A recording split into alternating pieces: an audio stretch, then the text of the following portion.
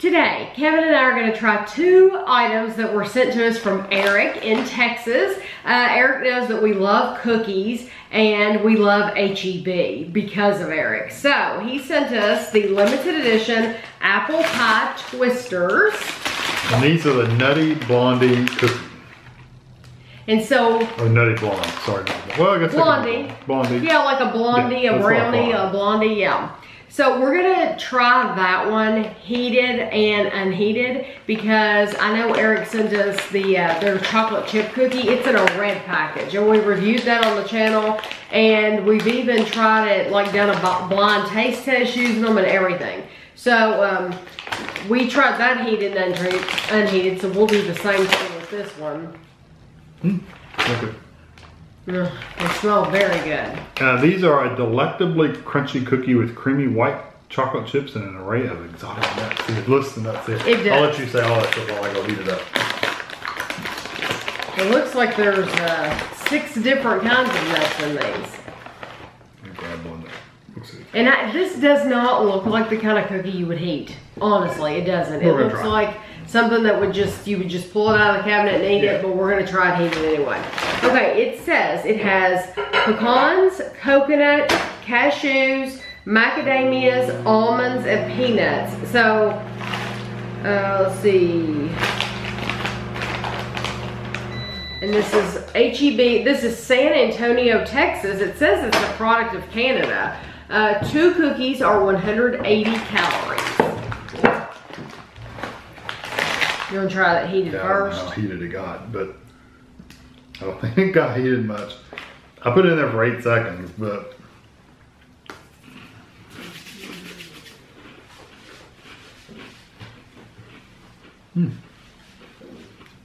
I can taste the coconut. coconut's a stronger thing, isn't Mm-hmm. it? It is. You really get the coconut. It reminds me of like a coconut macaroon cookie.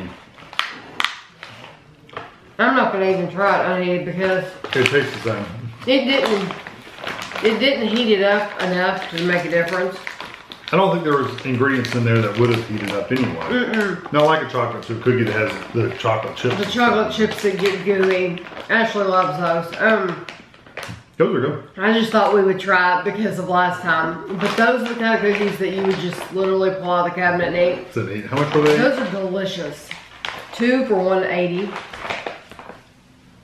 So 90 each. Yeah, so horrible. Yeah. it's, it's But hot, but it's. It's a thick, it's a thick cookie. Yeah. And you get a lot in that. Um, you know, Kevin gave me half, and I think I took two bites from that half. That was that was really really it's good good.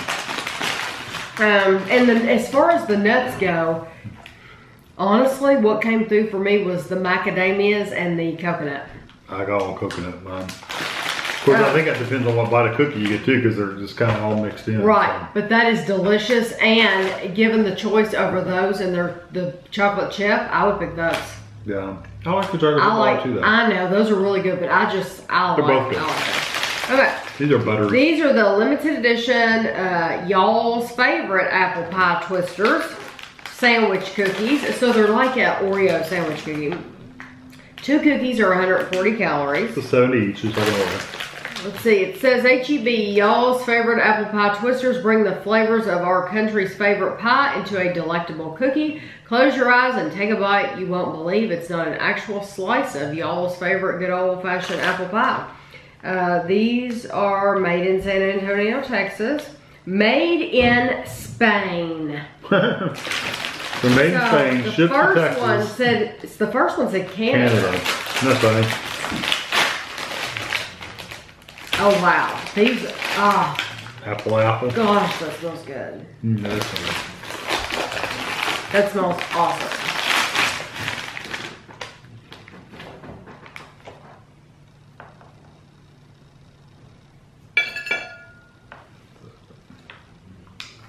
They're um.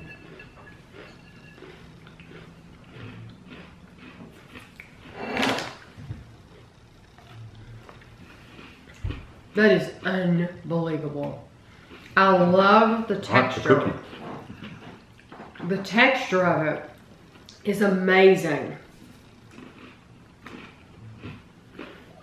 The apple pie flavor Mm-hmm. It's like you're eating a candle. Mm-hmm.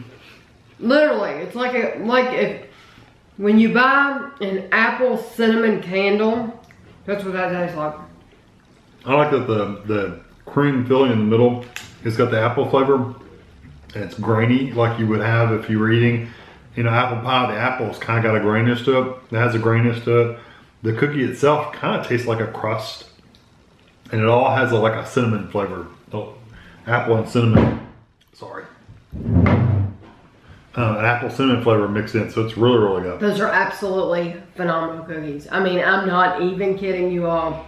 I love those cookies. Those Um, would be good in ice cream. Oh, that that is so incredible. I those will be dangerous because I want to eat another one right now. The, the just the texture alone, and then so you're you're chewing that cookie, but then you get into that the flavor of that center. And I'm telling you, if you ever wanted to eat one of those candles, there we go. That's awesome. I absolutely love those. They're really good.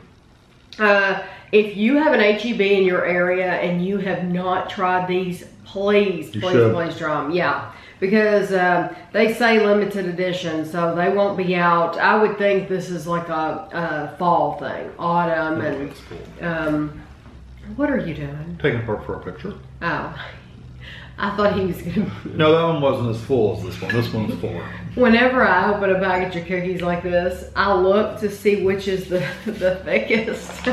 Oh no, I was looking for that one. Didn't go all the way to pick the out the edge. thickest. The cream didn't go out to the edge. That one does. So I was doing it for a picture. And you know they're probably the same amount on each one, but I always, I do always pick out the thickest one. So anyway, Eric, thank you so, Very so very much because I had seen a picture of these and I don't know if you posted it on Facebook or not. Somebody posted it on Facebook and it's like, I would love to try those. So I really do appreciate you sending both of these. They're two completely different Look how big the cookies. difference is, Oh wow. size wise. They're, yeah, they're two completely different cookies, so you can't compare them. But I would pick these. I picked apple over those, oh, although Oh, yeah. they're both really, really They're good. both exceptional cookies, but the, the apple ones are just the, texture. And I mean, Yeah. and as far as comparing these with an Oreo, there's no comparison. Yeah, the texture it. of these beats Oreo any day. Love these. Mm-hmm. So, it won't surprise me if Oreo didn't try to